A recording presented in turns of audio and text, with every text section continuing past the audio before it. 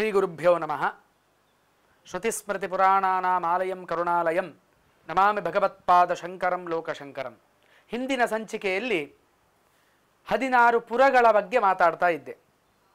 ಜೀವಾತ್ಮನು ಹೇಗೆ ಬೇರೆ ಬೇರೆ ಪುರಗಳಿಗೆ ಪ್ರವೇಶವನ್ನು ಮಾಡ್ತಾನೆ, ಅಲ್ಲಿ ಯಾವ ರೀತಿಯ ಕಷ್ಟಗಳನ್ನು ಅನುಭವಿಸ್ತಾನೆ, ಅಥವಾ ಪುಣ್ಯ ಸಂಪಾದನೆ ಮಾಡಿದವನಾದರೆ ಯಾವ ರೀತಿಯಲ್ಲಿ ಮುಂದೆ ನಡೀತಾನೆ ಅಂತ ಹೇಳುವಂಥದ್ದು. ಹಾಗೆ ಸೌರೀಪುರ ಆದ ಮೇಲೆ ನಗೇಂದ್ರ ಭವನ ಅಂತ ಹೇಳುವಂತಹ ಇನ್ನೊಂದು ಮೂರನೆಯ ಪುರ ಬರ್ತದೆ. ಆ ಮೂರನೆಯ ಪುರಕ್ಕೆ ಬಂದಾಗ ಇಲ್ಲಿ ಮೂರನೆಯ ಮಾಸಿಕವನ್ನು ಏನು ಮಾಡ್ತದೆ? ಆ ಮಾಸಿಕದಿಂದ ಲಬ್ಧವಾದಂತಹ ತಿಲೋದಕ ಪಿಂಡ ಪ್ರದಾನದಿಂದ ಆ ಜೀವಾತ್ಮನು ಸ್ವಲ್ಪ ಮಟ್ಟಿಗೆ ಸಂತೋಷವನ್ನು ಪಡ್ತಾನೆ.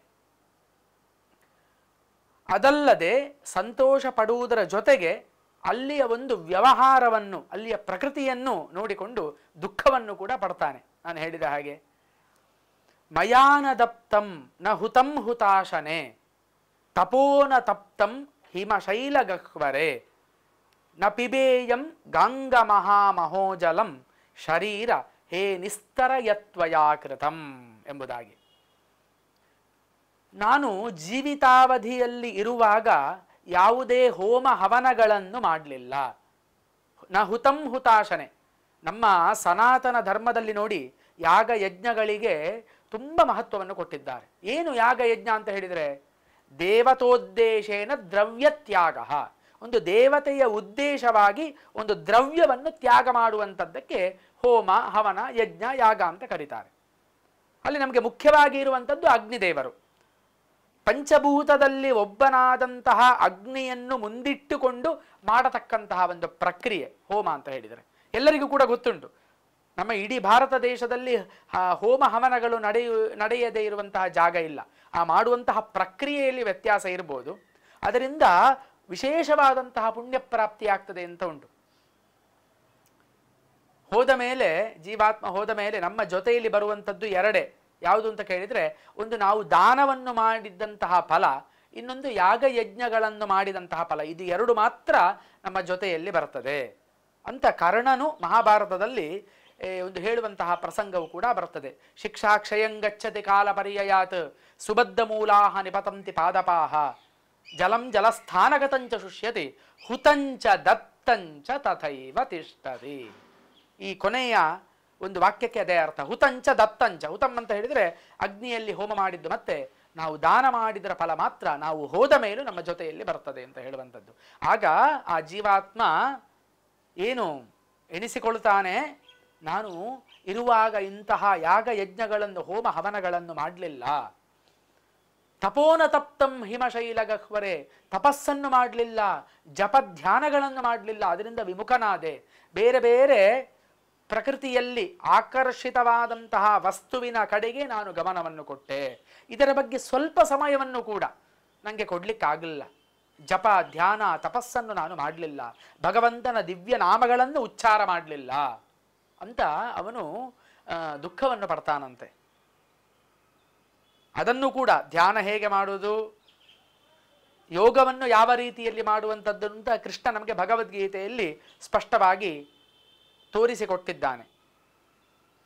ಆಸನ, ನಾವು ಕುಳಿತುಕೊಳ್ಳುವಂತಹ ಆಸನ ಯಾವ ರೀತಿಯಲ್ಲಿರಬೇಕು?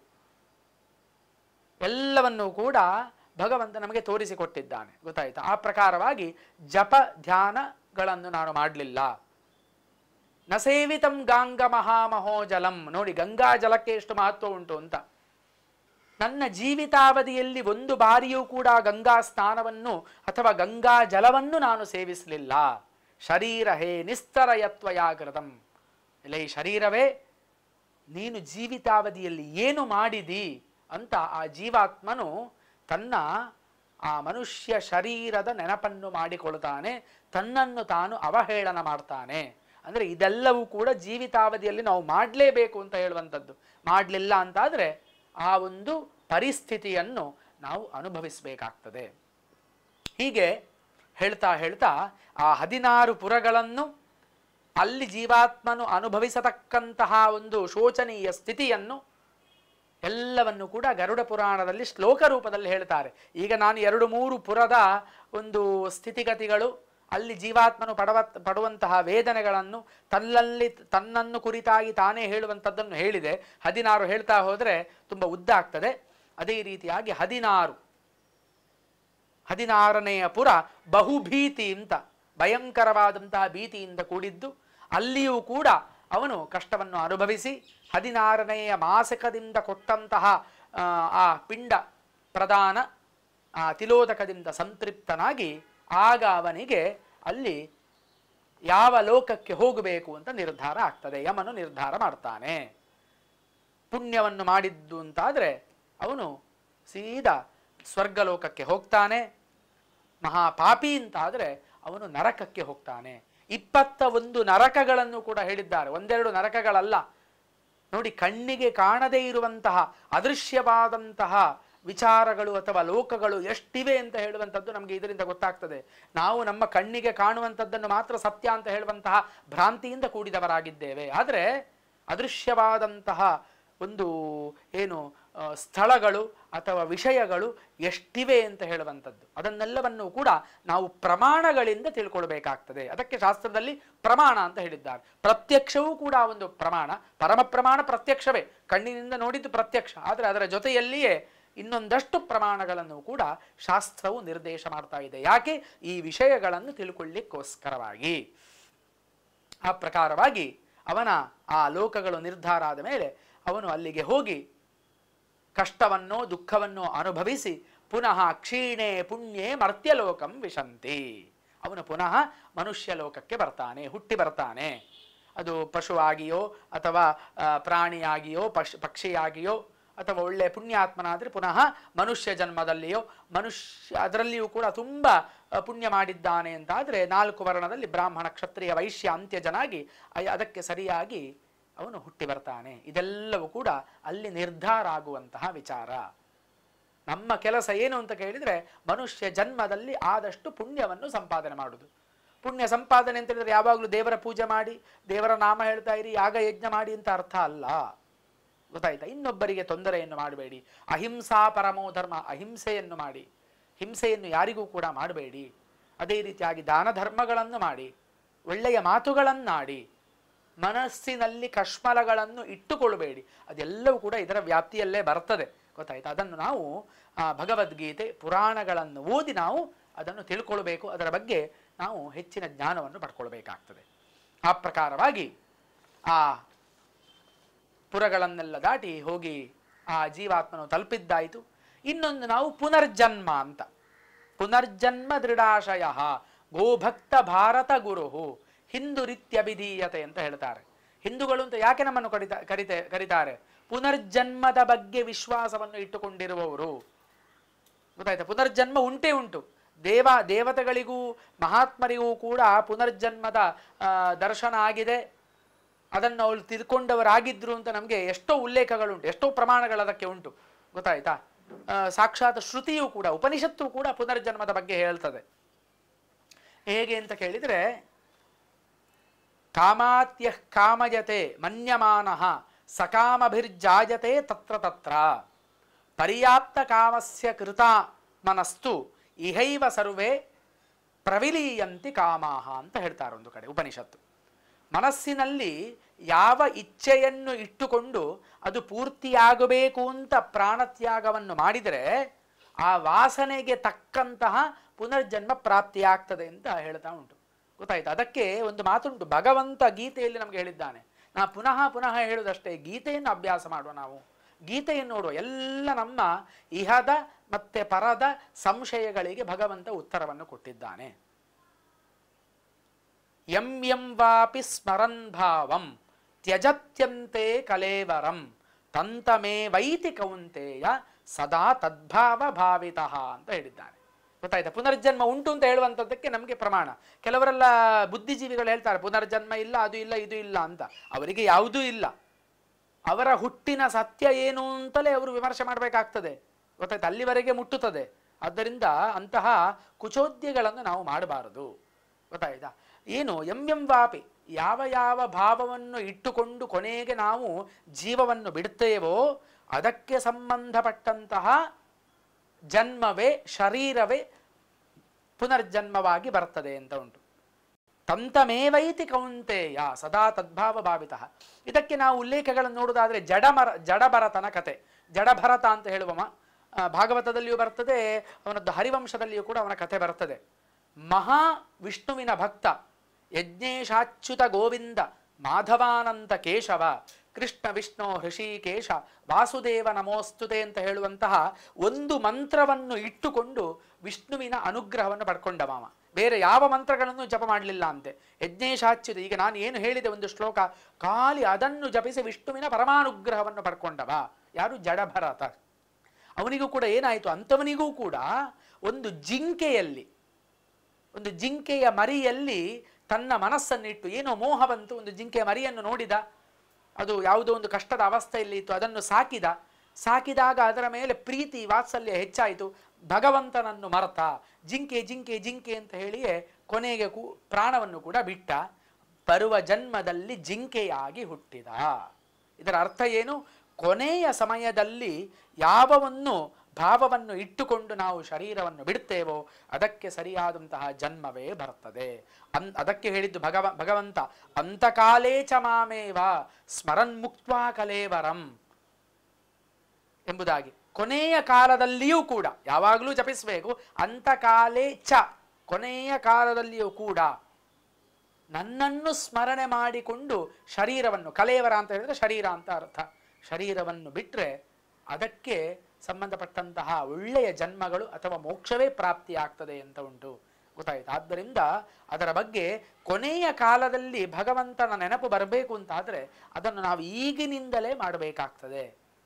ಈಗಿನಿಂದಲೇ ಮಾಡಿ ಮನಸ್ಸನ್ನು ಪರಿಪಕ್ವವಾಗಿ ಮಾಡಿಕೊಂಡಾಗ ಕೊನೆಯ ಕಾಲದಲ್ಲಿ ಆ ಸ್ಮರಣೆ ಬರ್ತದೆ. ಹಿಂದಿನ ಸಂಚಿಕೆಯಲ್ಲಿ ಹೇಳಿದ್ದೆ ಇಲ್ಲದಿದ್ದರೆ ನನ್ನ ಹೆಂಡತಿ, ಮಕ್ಕಳು ಅಥವಾ ನನ್ನ ಆಸ್ತಿ, ಪಾಸ್ತಿ ಹೋಯಿತು, ನನ್ನ ಅಣ್ಣ ಮಕ್, ನನ್ನ ಅಣ್ಣ ತಮ್ಮಂದರು ತಿಂದರು, ಇದೇ ತಲೆಗೆ ಬರ್ತದೆ. ಗೊತ್ತಾಯ್ತಾ? ಆದ್ದರಿಂದ ಭಗವಂತನ ಆ ದಿವ್ಯ ಮೂರ್ತಿ ನಮ್ಮ ಎದುರಿಗೆ ಬರಬೇಕು. ಭೀಷ್ಮರಿಗೆ ಬಂದ ಹಾಗೆ. ಭೀಷ್ಮರು ವಿಷ್ಣು ಸಹಸ್ರನಾಮವನ್ನು ಹೇಳಿದಾಗ ಅವರಿಗೆ ಭಗವಂತ ವಿಶ್ವರೂಪ ದರ್ಶನವನ್ನು ಕೊಡ್ತಾರೆ. ವಿಶ್ವರೂಪ ದರ್ಶನವನ್ನು ನೋಡಿ ಗೊತ್ತಾಯ್ತಾ, ಈ ಎರಡು ಕಣ್ಣು ಸಾಕಾಗುವುದಿಲ್ಲ. ಅದಕ್ಕೆ ಭಗವಂತ ಬೇರೆ ದಿವ್ಯನ್ ದದಾಮಿತೇ ಚಕ್ಷುಹು. ನಿನಗೆ ಭೀಷ್ಮ, ನಿನಗೆ ದಿವ್ಯವಾದಂತಹ ಇನ್ನೊಂದು ಕಣ್ಣನ್ನು ಕೊಡ್ತೇನೆ ಅಂತ ಭೀಷ್ಮರಿಗೂ ಅರ್ಜುನನಿಗೂ ಕೂಡ. ಅರ್ಜುನಿಗೂ ಕೂಡ ಗೀತೆಯಲ್ಲಿ ಭಗವಂತ ದಿವ್ಯವಾದಂತಹ ಚಕ್ಷುಸ್ಸನ್ನು ಕೊಟ್ಟು ಆ ಒಂದು ಭಗವಂತನ ಆ ವಿಶ್ವರೂಪ ದರ್ಶನವನ್ನು ಮಾಡುವಂತಹ ಯೋಗವನ್ನು ಕೊಟ್ಟ. ಅದನ್ನು ನೋಡಿ ಭೀಷ್ಮರು ಪ್ರಾಣತ್ಯಾಗ ಮಾಡಿದರು ಅಂತ.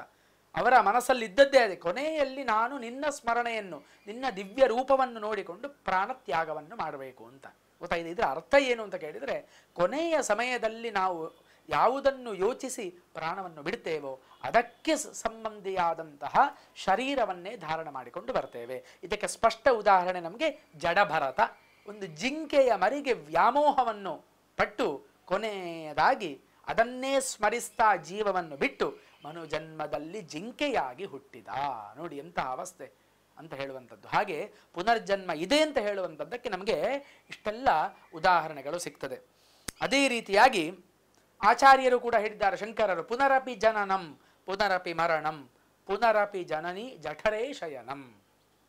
ಇಹ ಸಂಸಾರೇ ಖಲು ದುಸ್ತಾರೆ, ಕೃಪಯಾ ಪಾಹೆ ಪಾಹಿ ಮುರಾರೆ ಅಂತ ಅವರು ವಿಷ್ಣುವನ್ನು ಸ್ತೋತ್ರ ಮಾಡ್ತಾರೆ. ಇಂತಹ ಜನನ ಮರಣ ಅಂತ ಹೇಳುವಂತಹ ದುಃಖದಿಂದ ನನ್ನನ್ನು ಬಿಡುಗಡೆ ಮಾಡಿ ನಿನ್ನ ಸಾನ್ನಿಧ್ಯವನ್ನು ಅನುಗ್ರಹಿಸು ಮುರಾರೆ ಎಂಬುದಾಗಿ ಹರಿಯನ್ನು ಸ್ತೋತ್ರ ಮಾಡಿದ್ದು ಕಾಣಬಹುದು.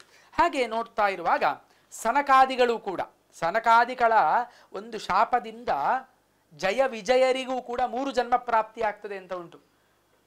ಜಯ ವಿಜಯರು ಸನಕಾದಿ, ಸನಕ ಸನಂದನ ಸನತ್ಕುಮಾರ ಸನತ್ಸುಜಾತರು ವಿಷ್ಣುವಿನ ದರ್ಶನಕ್ಕೆ ಬಂದಾಗ ದ್ವಾರಪಾಲಕರು ಜಯ ವಿಜಯರು ತಡಿತಾರೆ. ಅದರಿಂದ ಕುಪಿತರಾದಂತಹ ಸನಕಾದಿಗಳು ಅವರಿಗೆ ಶಾಪವನ್ನು ಕೊಡ್ತಾರೆ. ಗೊತ್ತಾಯ್ತಾ? ಮತ್ತೆ ಆ ಮೂರು ಜನ್ಮದಲ್ಲಿ ಬೇರೆ ಬೇರೆ ಹೆಸರುಗಳಿಂದ ಅವರು ಜನಿಸ್ತಾರೆ ಅಂತ ಭಾಗವತ ಪುರಾಣ ಹೇಳ್ತಾ ಇದೆ.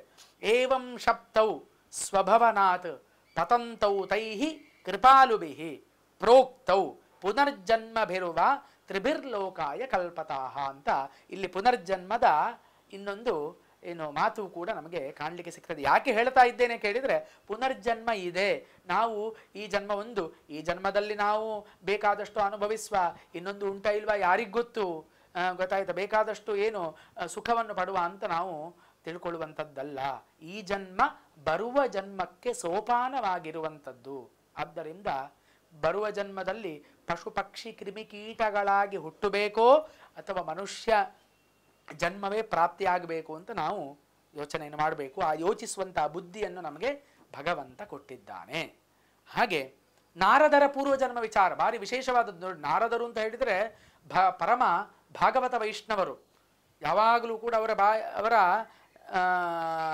ನಾಲಿಗೆಯಲ್ಲಿ, ಜಿಹ್ವೆಯಲ್ಲಿ ಇರುವಂಥದ್ದೇ ಭಗವಂತನ ದಿವ್ಯನಾಮ. ನಾರಾಯಣ ನಾರಾಯಣ ಅಂತ ಹೇಳ್ತಾ ಇರುವಂತಹ ನಾರದರು ಕೂಡ ಅವರ ಪೂರ್ವಜನ್ಮದ ವೃತ್ತಾಂತವನ್ನು ಅವರೇ ಭಾಗವತದಲ್ಲಿ ಹೇಳ್ತಾ ಇದ್ದಾರೆ. ಅವರೇ ಸ್ವಯಂ ಹೇಳ್ತಾರೆ.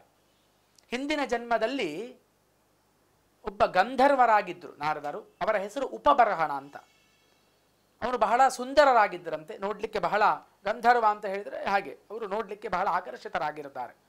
ಒಂದು ದಿವಸ ದೇವತೆಗಳ ಸತ್ರಯಾಗದಲ್ಲಿ ಭಗವಂತನ ಗುಣ ಸಂಕೀರ್ತನೆಯನ್ನು ಮಾಡಲಿಕ್ಕೆ ಅವರನ್ನು ಕರೀತಾರೆ. ಅವರು ಏನು ಮಾಡ್ತಾರೆ ಅಂತ ಕೇಳಿದರೆ ಅಲ್ಲಿರುವಂತಹ ಅಪ್ಸರೆಯರ ಜೊತೆಗೆ ಕೂಡಿ ಸಾಂಸಾರಿಕ ಗೀತೆಯನ್ನು ಹಾಡ್ತಾರೆ. ಅಲ್ಲಿ ನಡೀತಾ ಇರುವಂಥದ್ದು ಸತ್ರಯಾಗ. ಹೋಗಿ ಮಾಡಬೇಕಾದದ್ದು ಭಗವಂತನ ನಾಮ ಸಂಕೀರ್ತನೆ ಇವರು ಏನು ಮಾಡ್ತಾರೆ?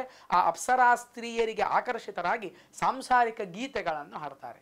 ಇವತ್ತು ಹಾಗೆ ಅಲ್ಲ, ನಾವೆಲ್ಲ ನೋಡಿ ಪೂಜೆ, ಪುರಸ್ಕಾರ ದೇವಸ್ಥಾನಕ್ಕೆ ಹೋದರೆ ಅಲ್ಲಿ ಏನು ಮಾಡಬೇಕು ನಾವು ಮಾಡುವುದಿಲ್ಲ ಅಲ್ಲಿ ಒಂದಷ್ಟು ಹೊತ್ತಾದರೂ ನಾವು ದೇವರ ಸ್ಮರಣೆ ಮಾಡಿಕೊಂಡು ಕೂತ್ಕೊಳ್ಬೋದು. ಆದರೆ ಏನು ಮಾಡ್ತೇವೆ ನಾವು?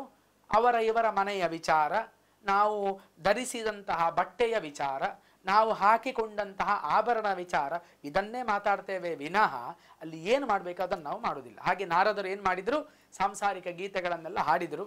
ಇದರಿಂದ ಸಿಟ್ಟು ಗೆದ್ದಂತಹ ಇಂದ್ರಾದಿ ದೇವತೆಗಳು ನೀನು ಅಂತ್ಯಜನಾಗಿ ಹೋಗು, ಶೂದ್ರನಾಗಿ ಹೋಗು ಅಂತ ಶಾಪವನ್ನು ಕೊಡ್ತಾರೆ.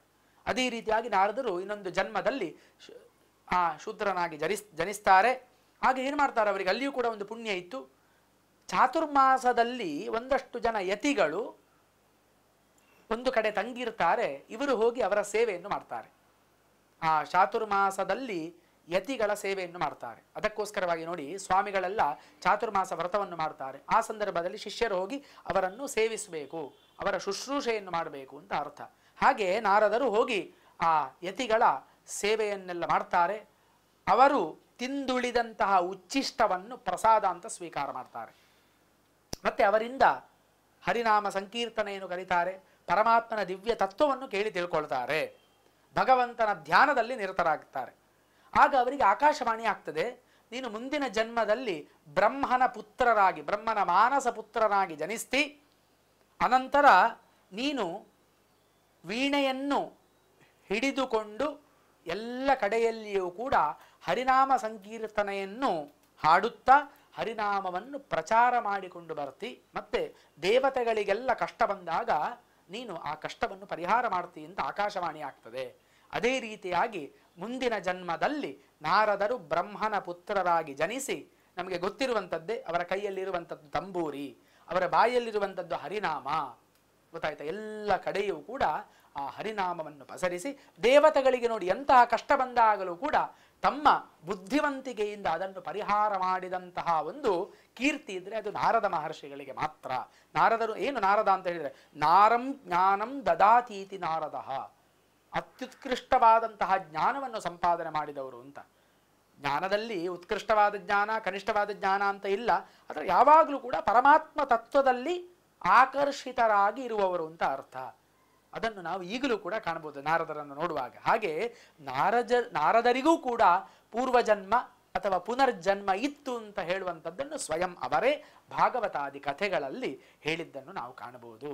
ಹೀಗೆ ಇದನ್ನೆಲ್ಲ ನಾನು ಯಾಕೆ ಹೇಳ್ತಾ ಇದ್ದೇನೆ ಅಂತ ಕೇಳಿದರೆ, ಜೀವಾತ್ಮದ ಊರ್ಧ್ವಗತಿ, ಅಲ್ಲಿ ಹೋಗಿ ನಾವು ಅನುಭವಿಸುವಂಥದ್ದು, ಪುನಃ ಹುಟ್ಟಿ ನಾವು ಬರುವಂಥದ್ದು ಅಂತ ಏನಿದೆ, ಇದೆಲ್ಲವೂ ಕೂಡ ನಿತ್ಯ ಸತ್ಯವಾದಂತಹ ವಿಚಾರ. ಅದು ಮಾತ್ರ ಅಲ್ಲ, ಪಾರ್ವತಿಗೂ ಕೂಡ ತನ್ನ ಪೂರ್ವಜನ್ಮದ ಸ್ಮರಣೆ ಆಗ್ತದೆ ಅಂತ ನಮಗೆ ಪುರಾಣದಲ್ಲಿ ಹೇಳಿದ್ದನ್ನು ಕಾಣಬಹುದು. ಬಲಿಚಕ್ರವರ್ತಿ ಅಥವಾ ನಳ ಮತ್ತೆ ದಮಯಂತಿ ಪೂತನಿಯೂ ಕೂಡ, ಪೂತನಿಗೂ ಕೂಡ ಅವಳು ಕೃಷ್ಣಾವತಾರದಲ್ಲಿ ಪೂತನಿಯಾಗಿ ಅವಳು ಜನಿಸಲಿಕ್ಕೆ ಅವಳು ರಾಮಾವತಾರದಲ್ಲಿ ಮಂಥರೆಯಾಗಿದ್ಲು. ಮಂಥರೆಯಾಗಿ ಅವಳು ರಾಮನು ಏನು ವನವಾಸಕ್ಕೆ ಹೋಗಲಿಕ್ಕೆ ಕಾರಣೀಭೂತಳಾಗಿದ್ಲು. ಆ ಪಾಪದಿಂದ ಏನಾಯಿತು ಅವಳಿಗೆ? ಬರುವ ಜನ್ಮದಲ್ಲಿ ಪೂತನಿ ಅಂತ ಹೇಳುವಂತಹ ರಾಕ್ಷಸಿಯಾಗುವಂತಹ ಒಂದು ಯೋಗ ಬಂತು ಅಂತ ಹೇಳುವಂಥದ್ದನ್ನು ಪುರಾಣ ಉಲ್ಲೇಖ ಮಾಡ್ತದೆ. ಹಾಗೆ ನಮಗೂ ಕೂಡ, ನಮಗೂ ನಿಮಗೂ ಎಲ್ಲರಿಗೂ ಕೂಡ ಪುನರ್ಜನ್ಮ ಅಂತ ಹೇಳುವಂಥದ್ದು ಕಟ್ಟಿಟ್ಟ ಬುತ್ತಿ. ಪುನರ್ಜನ್ಮ ಬೇಡ ಅಂತ ಆದರೆ ಎಷ್ಟೋ ಹಿಂದೆ ಮಾಡಿದಂತಹ ಸಹಸ್ರ ಸಹಸ್ರ ಜನ್ಮದಲ್ಲಿ ಮಾಡಿದಂತಹ ಅಥವಾ ಮುಂದೆ ಮಾಡುವಂತಹ ಪುಣ್ಯದಿಂದ ಮೋಕ್ಷ ಪ್ರಾಪ್ತಿ ಆಗಬಹುದು. ಮೋಕ್ಷ ಅಂತ ಹೇಳುವಂಥದ್ದು ಅಷ್ಟು ಸುಲಭವಾದದ್ದಲ್ಲ. ಬಾಯಲ್ಲಿ ಹೇಳಿದಷ್ಟು. ಆದ್ದರಿಂದ ಕೊನೆಯ ಪಕ್ಷ ಪುನರ್ಜನ್ಮ ನಮಗೆ ಮನುಷ್ಯ ಜನ್ಮವಾಗಿಯೇ ಬರಲಿ ಅಂತ ಹೇಳುವಂತಹ ಉದ್ದೇಶವನ್ನಿಟ್ಟುಕೊಂಡು ಅದಕ್ಕೆ ಬೇಕಾದಂತಹ ಪೂರಕವಾದಂತಹ ಸತ್ಕರ್ಮಗಳನ್ನು ನಾವು ಮಾಡಿದಾಗ ನಮಗೆ ಮುಂದೆಯೂ ಕೂಡ ಮನುಷ್ಯ ಜನ್ಮ ಪ್ರಾಪ್ತಿ ಆಗ್ತದೆ ಅಂತ ಹೇಳುವಂಥದ್ರಲ್ಲಿ ಸಂಶಯ ಇಲ್ಲ. ಇದನ್ನೆಲ್ಲವನ್ನು ಕೂಡ ಭಗವತಿ ಶ್ರುತಿಯು ಹಾಗೆ ಪುರಾಣಗಳು, ಸ್ಮೃತಿಗಳು ನಮಗೆ ಒತ್ತಿ ಒತ್ತಿ ಹೇಳ್- ಹೇಳ್ತಾ ಇದೆ. ಇದನ್ನು ಯಾವುದನ್ನು ಕೂಡ ನನ್ನ ವೈಯಕ್ತಿಕ ಅಭಿಪ್ರಾಯವನ್ನು ಇಲ್ಲಿ ನಾನು ಪ್ರಸ್ತುತಪಡಿಸ್ತಾ ಇಲ್ಲ. ಎಲ್ಲವನ್ನು ಕೂಡ ಶಾಸ್ತ್ರದ ಆಧಾರ ಇಟ್ಟುಕೊಂಡೇ ನಾನು ಮಾತಾಡ್ತಾ ಇದ್ದೇನೆ. ಆ ಪ್ರಕಾರ ನಾವು ಹೀಗೆ ಮುಂದೆ ನಡೆಯುವ ಎಲ್ಲರಿಗೂ ಕೂಡ ಭಗವಂತನ ದಿವ್ಯ ಅನುಗ್ರಹ ಪ್ರಾಪ್ತಿಯಾಗಲಿ ಅಂತ ಹೇಳ್ತಾ, ಮರಣೋತ್ತರ ಜೀವನ ಅಂತ ಹೇಳುವಂತಹ ಈ ನಾಲ್ಕನೆಯ ಸಂಚಿಕೆಯನ್ನು ಇಲ್ಲಿಗೆ ಕೃಷ್ಣಾರ್ಪಣ ವಸ್ತು ಅಂತ ಮುಗಿಸ್ತಾ ಇದ್ದೇನೆ. ಸರ್ವೇ ಜನಾ ಸುಖಿನೋ ಭವಂತು.